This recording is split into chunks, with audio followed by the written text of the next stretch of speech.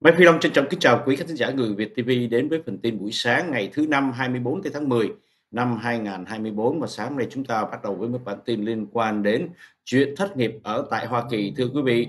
À, trong tuần này trong tuần vừa à, vừa qua xin lỗi trong tuần vừa qua báo cáo về số lượng những người xin tiền thất nghiệp là không có tăng và giảm xuống bất ngờ.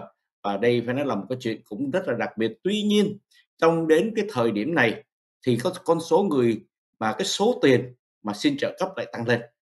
Người xin thất nghiệp không tăng, nhưng mà cái số tiền lại tăng lên là vì sao? Là vì, thưa quý vị, hậu quả của hai cơn bão liên tục, cơn bão Helene và cơn bão Milton xảy ra ở tại khu vực tiểu bang miền Đông, từ kéo từ tiểu bang Florida chạy lên tới tiểu bang Virginia. Thì để lại một sự tàn phá cho cả quý vị chúng ta đều biết. Và chính vì cái sự tàn phá đó, cho nên cái số uh, tiền mà trợ cấp cho những người đã thất nghiệp trong uh, cái khu vực đó tự nhiên gia tăng lên thì đây là một cái sự kiện không phải đến từ một cái hậu quả kinh tế nào mà đến từ hậu quả của thiên tai. Đó là cái sự kiện liên quan đến vấn đề uh, thất tiền thất nghiệp. Sang qua một cái chủ đề khác mà nhiều người Mỹ có người thì thờ ơ nhưng mà cũng có người quan tâm đến chuyện này đó là vấn đề những người chuyển giới thì thưa quý vị trong thời gian vừa qua chúng ta thấy ngôn ngữ của những người bảo thủ bên phía cộng hòa rất là coi như là chỉ trích tấn công khắt khe hoặc là uh, nhiều cái đưa ra thậm chí đưa ra nhiều cái luật để mà ngăn cản cái sự mà giúp đỡ cho những người chuyển giới. Thì bây giờ có một cuộc thăm dò mới cho thấy là những cử tri của Hoa Kỳ hầu hết họ đều nghĩ rằng là những cái quảng cáo mà chống lại những người chuyển giới. Đó là những quảng cáo nói chung là những ngôn từ rất là độc ác và mang theo cái tinh thần rất là độc ác đối với con người. Thì uh, trong chuyện này chúng ta thấy rằng là những người mà bình thường ở tại Hoa Kỳ nếu mà không bị ảnh hưởng những cái tư tưởng cực đoan nào khác thì họ rất là có một cái nhìn bao dung với tất cả. Khi chúng ta đến đất nước Mỹ này chúng ta đều tin rằng đất nước Mỹ là nơi mà có thể dung chứa được những người có nhiều cái quan điểm khác nhau. Nhưng kể từ khi cái cái khuynh hướng cực đoan xảy ra ở tại nước Mỹ, trong một cái chủ đề mà để giành những cái sự chiến thắng trong cuộc đua tổng thống, khi những cái quan điểm cực đoan hình thành và làm cho nước Mỹ hiện tại bây giờ phải nói chia rẽ hơn bao giờ hết và chia rẽ trên nhiều lĩnh vực khác nhau. Đó là một cái chuyện chúng ta nói về cái thời điểm bầu cử ngày trước có thể là rất không, chúng ta không có bao giờ chúng ta quan tâm đến cái chuyện là người đó động tính hay là người đó là chuyển giới. Là bởi vì nếu mà quý vị chịu khó mà nhìn, thì đôi khi chính trong vòng những người chúng ta quen và trong những vòng hay thậm chí trong cả gia đình cũng đều có những người như vậy. Và khi chúng ta hiểu được những hoàn cảnh này, chúng ta thấy đó là không phải là sự lựa chọn của họ. Đó là nói về cái chuyện, những vấn đề về giới tính ở tại Hoa Kỳ nói trở lại cái cuộc bầu cử. Thưa quý vị chúng ta chỉ còn có 12 ngày nữa là đến ngày bầu cử cho nên tất cả những mọi thông tin những cái vấn đề về liên quan đến chuyện này thì luôn luôn được uh, truyền thông chú ý khai thác và đương nhiên để làm thỏa mãn cái sự mà gọi là chờ đón của người dân Hoa Kỳ trước cái thềm bầu cử.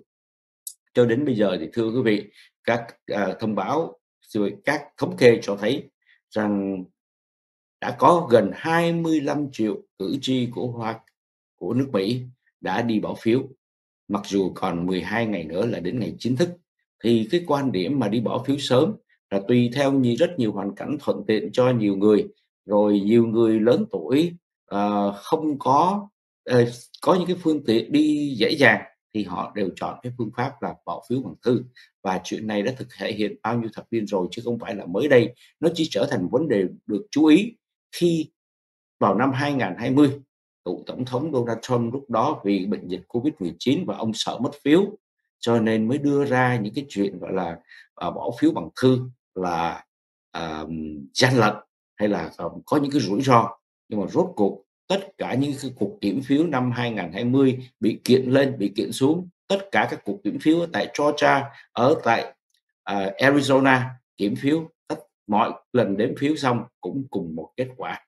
Và cái chuyện này khiến cho đảng Cộng hòa năm 2020 và đến năm 2024 hiện nay họ phải tìm cách sửa sai những gì mà ông Donald Trump nói uh, từ năm 2020 phải tung ra hàng triệu hàng triệu đô la để kêu gọi cử tri Cộng hòa nên đi bỏ phiếu bằng thư. Và có dịp tiện thì nên đi bỏ phiếu sớm. Và đó là một cái chuyện chúng ta đáng chú ý về cái những vấn đề liên quan đến cái chuyện đi bỏ phiếu à, sự mà nhiệt tình của những người cử tri đi đến bỏ phiếu sớm nó cho thấy cái sự hiện tại bây giờ cái cuộc tranh cử lại được sự quan tâm rất rất nhiều người. Và trong cái chuyện khác nữa là cái vấn đề giành nhau cái cử tri để về phía ủng hộ của mình.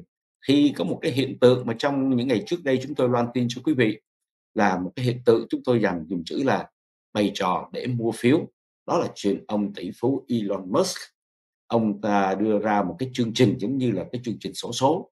Nếu mà ghi danh vào cái ủy ban chính trị của ông về để mà tuyên bố ủng hộ tu chánh án số 1, tu chánh án số 2 thì ông sẽ bốc thăm rồi mỗi một ngày sẽ có một người thắng giải một triệu đô la. Và khi cái chuyện đó mà ông tung ra như thế đương nhiên sẽ làm rất nhiều người rất là hào hứng. Nhưng mà ông chỉ chú ý vào những cái tiểu bang mà phải chiến trường.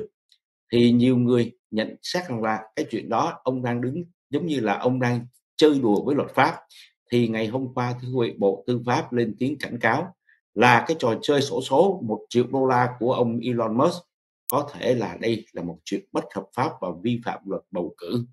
Đó là một theo uh, nội dung của một cái lá thơ của bộ tư pháp gửi đến cái ủy ban hoạt động chính trị của ông Elon Musk và trong chuyện này chúng ta thấy chỉ còn có 17 khi ông đưa ra cái chương trình này thì lúc đó cái thời điểm mà uh, từ cái thời gian đó đến ngày bầu cử khoảng chừng 16 17 ngày thì ông nghĩ rằng là ông bỏ 17 17 triệu đô la ra để mà mua được kết quả bầu cử. Đó là cái chuyện nhiều người gọi là họ cảm thấy rằng là bất bình trong cái trò chơi này. Những người thừa tiền lắm của thì sẵn sàng bỏ ra bao nhiêu tiền để mà tìm tìm một cái giống như là người ta nói rằng là có tiền mua tiền cũng được thì đây là cái trò chơi để mà kiếm kiếm phiếu bằng cách tung tiền ra. Nhưng thưa quý vị ông Elon Musk đã bị cảnh cáo đây cái chuyện có thể vi phạm luật bầu cử. Ông có ngừng lại hay không chúng ta không biết chúng ta chờ đợi kế tiếp nó sẽ xảy ra là hành động của bộ tư pháp ra sao và ông Elon Musk có tiếp tục chơi trò này nữa hay không? À, sang qua một câu chuyện khác. Ngày hôm qua bà Kamala Harris có một cái cuộc họp town hall ở tại Pennsylvania. Và cái cuộc town hall meeting này uh, bà Kamala Harris đối đầu với thứ đối diện thì phải đối đầu đối diện với khoảng chừng hơn 30 cử tri độc lập. 30 cử tri chưa có quyết định rằng là sẽ bỏ phiếu cho ai. Thì ngày hôm qua bà Kamala Harris uh, xuất hiện trên cái chương trình này do đài CNN uh, ờ, tổ chức thì cái người phóng viên là ông Jack Tapper. Ông thì từ trước đến nay người ta đều thấy rằng ông thuộc khuynh hướng cấp tiến. Nhưng ngày hôm qua ông đã hỏi bà Kamala Harris nhiều câu rất rát và rất sát. Những cái câu mà bà à, ngày trước người ta cảm giác rằng bà Kamala Harris tránh né thì ông đã tấn công bà trong những chủ đề này. Thí dụ vấn đề di dân. Ông Tapper hỏi rằng là tại sao trong thời gian 3 năm đầu tiên chính quyền Biden không thực hiện những biện pháp mà gọi là những cái sắc lệnh hành pháp khắt khe hơn để ngăn cản chuyện này. Và trong chuyện này cũng đưa đến bà Kamala Harris một cái sự khó khăn. Nếu bà chỉ trích uh, cái chính sách của ông Biden thì thật sự bà là phó tổng thống bà không có quyền. Người quyết định tất cả mọi chuyện là tổng thống chứ không phải là phó tổng thống. Nhưng mà nếu bà chỉ trích ông Biden thì tỏ ra bà không phải là một người giống như là một người bạn trung thành. Và cơ hội của bà thì bà đem chỉ trích cái người tiền nhiệm. Thì cái đó là một cái tư cách mà bà Kamala Harris tỏ ra điều này làm chúng ta à, quý trọng bà. Nhưng mà đây cũng là một cái sự bất lợi chính trị. Tuy nhiên ngày hôm qua bà Kamala Harris khi trả lời chuyện này bà nói rằng là tất cả những gì chúng tôi làm chúng tôi thấy là đúng và chính quyền của tôi sẽ khác hẳn các chính quyền khác. Chính quyền của tôi là một chính quyền của một cái thế hệ trẻ hơn một cái một cái thế hệ mới hơn. Đây là cũng là một cái lời nói ám chỉ rằng là không những bà sẽ khác ông Biden và bà cũng sẽ khác luôn ông Donald Trump là một người hơn bà tới 19 tuổi thì đó là cái câu trả lời của bà Kamala Harris với những cái câu hỏi mà ông Tepper Chí cũng như là những người à, cử tọa họ cũng đặt ra những câu hỏi cho bà Kamala Harris Và một trong những chuyện mà ông Jack Tepper đặt câu hỏi cho bà Kamala Harris về cái chuyện là cái phong cách của ông Donald Trump. Chúng ta để ý, chú ý, ngày hôm qua chúng tôi đưa tin quý vị là cựu tránh văn phòng của ông Donald Trump. Là ông tướng John Kelly trong một cuộc phỏng vấn ông nói rằng là ông Trump là một người có tư tưởng muốn trở thành một cái lãnh tụ mà phát xít độc tài. Và cái đó là cái cái uh, giống như là cái cái sự ao ước của Donald Trump. Ông Donald Trump muốn người ta hay là quân đội nhìn ông giống như là các tướng lãnh của phát xít chúng tôi không biết là những cái hình ảnh đó làm cho ông Donald Trump cảm thấy phấn khích. Nó như thế nào có thể ông nhặt từ trong những cái phim ảnh mà về đệ nhị thế chiến? Chúng ta nhìn quân đội Đức rất là kỷ luật và người người Đức nổi tiếng trong cái chuyện trong cái việc đó. Và những ông tướng lãnh của Đức mặc đồ quân phục rất là đẹp và rất là uy nghi. Và có thể đó là cái hình ảnh mà ông Donald Trump thích và mong muốn trở thành như vậy. Thì ngày hôm qua bà à, à Kamala Harris bị hỏi là bà nghĩ sao về cái chuyện ông Donald Trump? Ông có muốn ông có phải là một người phát xít hay không? Thì bà Kamala Harris nói rằng yes tôi nghĩ rằng ông Donald Trump là một kẻ phát xít và vô cùng nguy hiểm. Và mỗi lúc ông càng bất trí và điều đó là nguy hiểm cho dân Mỹ. Thì bà nói về vấn đề là cho người dân và các cử, cử tọa đang ngồi lắng nghe bà và nói chúng ta không thể nào tiếp tục cái nhiệm kỳ mới cho ông Donald Trump nữa bởi vì đây là một cái người nguy hiểm. Thì trong cái sự việc này thưa quý vị uh, chúng ta cũng để ý rằng là hiện tại bây giờ những người mà ủng hộ cho ông Donald Trump họ không cần biết ông Donald Trump có phải là người thích chủ nghĩa phát xít muốn trở thành hình ảnh người phát xít hay không. Người ta không cần biết. Những người ủng hộ ông Donald Trump thậm chí họ muốn ông Donald Trump trở thành kẻ độc tài mà họ muốn ông Donald Trump trở thành phát xít họ muốn ông Donald Trump trở thành những cái gì mà họ cảm thấy rằng là vô cùng quyền lực độc tài độc đoán họ không cần biết. Miễn cái người đó, đó là ông Donald Trump thì họ sẵn sàng chấp nhận mọi, mọi giá. Chúng ta thường chứng kiến trong cộng đồng Việt Nam có những người sẵn sàng đổi cái họ Việt của mình để lấy họ Trump, chúng ta biết cái sự cuồng nhiệt đó nó đến như thế nào. Thì cái câu hỏi mà bà Kamala Harris ngày hôm qua nói về cái chuyện bà nói ông Donald Trump là một kẻ phát xít, thừa nhận của bà, chuyện chuyện đó chúng tôi thấy không quan trọng. Nhưng mà khi mà bà nói về mình, thì tôi thấy chuyện này chúng ta nên chú ý hơn. Thứ nhất, khi bà nói về mình, bà nói rằng là tôi là một người không hoàn hảo, nhưng mà tôi sẵn sàng học tôi sẵn sàng nghiên cứu những gì mà những vấn đề đặt ra cho tôi. Và từ đó tôi sẽ thay đổi và tôi sẽ áp dụng để mà thích hợp với hoàn cảnh.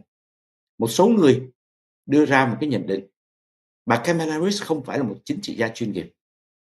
Xin lỗi quý vị tôi rút lại. Bà không có một cái uh, phong cách kiểu mà chính trị gia. Là có nghĩa rằng là có thể tuôn ra bất kỳ những cái lời hứa nào cho thỏa mãn cái câu hỏi đang vừa đặt ra trước mặt mình hay là để thỏa mãn một cái giai đoạn. Mà bà Kamala Harris bản chất bà là một luật sư và bà là một công tố viên. Thì với một người như vậy thì lúc nào trong lòng cũng có một cái nền tảng về luật pháp. Bà biết chỗ nào bà không thể đi qua, bà đều dừng lại ở cái chỗ luật pháp. Nhưng người ta cũng nói với một cái người mà có phong cách một luật sư như vậy thì những người luật sư cũng là một người rất là thực dụng. Là bởi vì tùy theo hoàn cảnh họ sẽ biết áp dụng luật trong các cảnh này và các cảnh khác. Thì cái điều bà Cameris ngày hôm qua bà trả lời rằng tôi là một người sẵn sàng biết học hỏi và thay đổi. Thì nhiều người cho đó là một cái điểm mạnh của bà Kamala Harris. Nói về cái cuộc uh, vận động tranh cử hiện nay thì thưa quý vị ngày hôm nay bà Kamala Harris sẽ đi qua bên Georgia và tại đó bà sẽ được hai cài hai người khẩu thành công trên hai thế giới khác nhau, đi đến giúp bà vận động tranh cử. Người, một người nằm trong thế giới chính trị, một người nằm trong thế giới âm nhạc. Quý vị, chúng ta, tôi muốn nói đến ngày hôm nay bà Kamala Harris đến Georgia và được sự tháp tùng của cựu tổng thống Barack Obama và đại ca sĩ Bruce Springsteen đến để vận động cho bà Kamala Harris ở tại tiểu bang Georgia là một tiểu bang chiến trường. Không biết hai khẩu thành công này có giúp bà Kamala Harris hay không? Đó là câu hỏi chúng ta chờ đợi trong 12 ngày sắp tới. Sau có một chủ đề quốc tế mà chúng tôi muốn à, nói đến, hiện tại đang được rất là chú ý, đó là chuyện quân đội Bắc Hàn có mặt ở tại Nga. Và theo sự xác nhận của Bộ trưởng Hoa Kỳ là ông Lloyd Austin nói ngày hôm qua trên chuyến bay từ Kiev đi đến Rome nước Ý.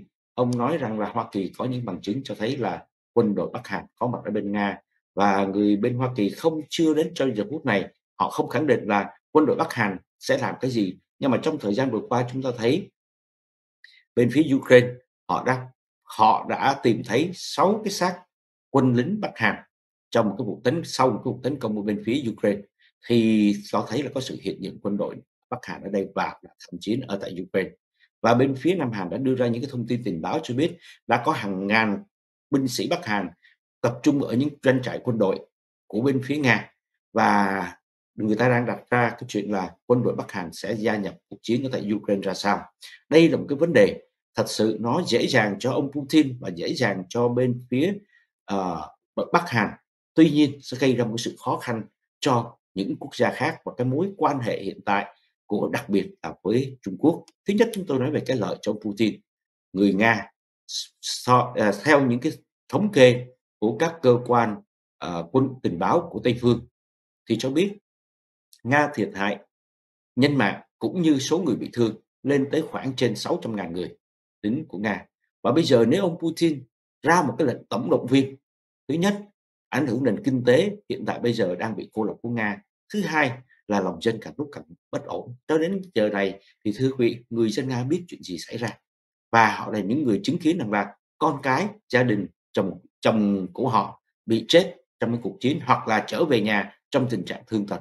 Cho nên ông Putin không thể nào mà đưa ra một cái lệnh tổng động viên một cách dễ dàng ngay trong lúc này thì có cái lực lượng của bên phía Bắc Hàn bù vào cái khoản đó. Còn đối với phía Bắc Hàn, cái lợi của họ là gì? Khi đưa quân qua bên Nga, đương nhiên Bắc Hàn sẽ đổi lại những cái vấn đề khác. Ví dụ đây là những toán quân đi đánh thuê. Họ sẽ nhận được một số tiền hoặc là nhận những sự trao đổi nào đó có lợi cho Bắc Hàn về kinh tế. Và điều thứ hai là điều quan trọng hơn hết là Bắc Hàn có thể đạt những cái thỏa thuận được Nga cung cấp cho những cái vũ khí tối tân và Nga không những cung cấp mà còn chuyển giao cho Bắc Hàn những cái kỹ nghệ, những cái kỹ thuật để chế tạo những cái hỏa tiễn tầm xa hơn, chế tạo bom nguyên tử một cách dễ dàng hơn. Đó là những cái cái lợi của bên phía Nga và Bắc Hàn. Nhưng mà chuyện này nó làm cho Trung Quốc rất rất là khó chịu là bởi vì sao? Thứ nhất, Trung Quốc là, đang là đồng minh rất là chặt chẽ với bên Nga và lẫn Bắc Hàn. Và trong chuyện này thì chúng ta để ý rằng khi mà Bắc Hàn đưa quân tham chiến ở tại Ukraine thì bên Trung Quốc họ đang tạo dựng cho họ một hình ảnh một đại ca trên thế giới một người đại ca biết bảo vệ hòa bình trên thế giới. Bây giờ họ thấy rằng là hai đồng minh sát cạnh của họ bây giờ đem quân ra để mà đánh nhau với người Ukraine. Thì cái ngôn từ miệng lưỡi của, của Bắc Kinh trong những ngày vừa qua là chúng tôi là sứ giả hòa bình chúng tôi là những người bảo vệ hòa bình đâm ra bị kẹt. Thứ nhất. Cái thứ hai. Tình trạng trong khu vực bất ổn định. Nói gì dù có nói rằng là Bắc Hàn chịu sự ảnh hưởng của của bên phía Trung Quốc. Tuy nhiên, một người đàn em, một quốc gia đàn em, quốc gia chư hầu mà vô cùng bất trị, có trong tay vũ khí nguyên tử, có trong tay những kỹ thuật hỏa tiễn tối tân mà Nga cung cấp cho bên phía Bắc Bắc Hàn, thì Trung Quốc thấy điều này là một cái điều rất là khó cho họ kiểm soát được cái quốc gia chư hầu bất trị này. Và trong cái chuyện này chúng ta cũng để ý liên quan đến cuộc chiến giữa Trung Quốc và Việt Nam năm 1979 thưa quý vị trong thời gian đó phải nói rằng là quân đội uh, nước Việt Nam Cộng sản đã làm cho quân Trung Quốc xâm lăng sáu tỉnh biên giới phải là thất bại để đi về. Cho nên có một cái quốc gia chư hầu dù nhỏ hay yếu hơn rất nhiều về mặt kinh tế và quân sự nhưng mà bây giờ Bắc Hàn lại thêm được uh, Nga uh, chấp vây chấp cánh đưa thêm là móng vuốt bằng những cái loại kỹ kỹ thuật nguyên tử hay là kỹ thuật hỏa tiễn mới thì điều này là điều Trung Quốc vô cùng khó chịu và vấn đề này khiến cho Trung Quốc e ngại thêm một vấn đề nữa. Khi Bắc Hàn trở thành một quốc gia được vũ trang nhiều hơn thì mối quan hệ giữa Hoa Kỳ, Nam Hàn và Nhật Bản nó sẽ chặt chẽ hơn nữa. Và Hoa Kỳ lúc đó có đủ cái cớ và đủ lý do để sẽ viện trợ những vũ khí tối tân hơn, nguy hiểm hơn hoặc là Hoa Kỳ tự trang bị đem những cái vũ khí tối tân hơn nữa đến với các căn cứ Hoa Kỳ hiện tại ở tại Nam Hàn và ở tại Nhật Bản để mà đối đầu với một Bắc Hàn và Bắc Kinh không thể nào có một cái tiếng nói một cách, gọi là, chính đáng để mà phản đối những việc này. Thì đó là những cái chuyện mà việc mà Bắc Hàn như vậy xin việc mà Nga nhận quân của Bắc Hàn đem vào Nga và để tham chiến tại Ukraine sẽ gây những khó khăn cho bên phía Trung Quốc. Cảm ơn quý vị theo dõi chương trình ngày hôm nay. Chúc quý vị một ngày nhiều niềm vui, bình an và chúng tôi hẹn gặp lại quý vị trong chương trình ngày mai.